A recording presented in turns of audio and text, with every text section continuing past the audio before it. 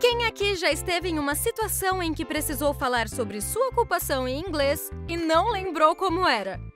Bom, o vídeo de hoje é para você não passar mais esse perrengue. Bora aprender como são pronunciadas algumas profissões em inglês? Vamos por ordem alfabética. Accountant Actor Architect Astronomer Author Carpenter. Chef. O, Cook. Designer. Electrician. Engineer. Firefighter. Hairdresser. Journalist. Judge.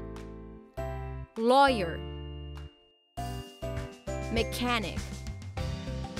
Nurse Photographer Pilot Plumber Psychologist Secretary Salesperson Translator Ufa! Quantas, não é mesmo? E aí, conhece mais alguma de que não falamos aqui? Coloque nos comentários.